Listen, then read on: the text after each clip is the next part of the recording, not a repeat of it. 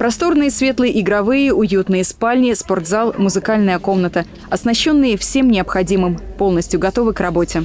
Глава округа Андрей Иванов посетил новый детский сад номер 67 в Гусарской балладе, проверил завершенность подготовительных процессов и пообщался с родителями и коллективом воспитателей. Должна быть обстановка такая семейная, а может быть даже лучше, чем дома, потому что там куча проблем у родителей, нервов, сложности и стесненные условия зачастую в квартирах, а в детском саду а, просто для детей рая они, конечно, должны сюда стремиться, лежать каждый день. И играть, и развлекаться, и получать это тепло и позитив от э, всех, кто здесь работает. Из запланированных 400 мест на сегодняшний день сад посещают порядка 100 малышей в возрасте от 2 до 7 лет. В перспективе появятся ясельные группы. До 1 марта дети проходят период адаптации. Учреждение работает в режиме кратковременного пребывания.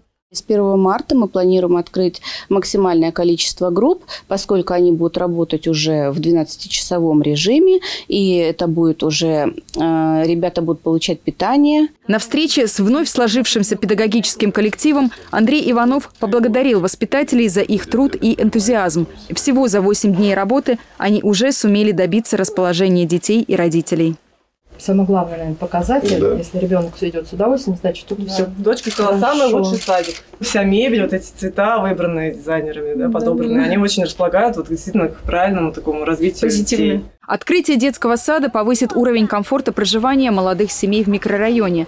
До этого многие были вынуждены возить своих малышей в другие районы города. Дискомфорт испытывали не только родители дошколят, но и воспитатели. Жительница гусарской баллады Ольга Кравченко до этого времени ежедневно ездила на работу в Трехгорку. Теперь трудоустроилась по соседству с домом.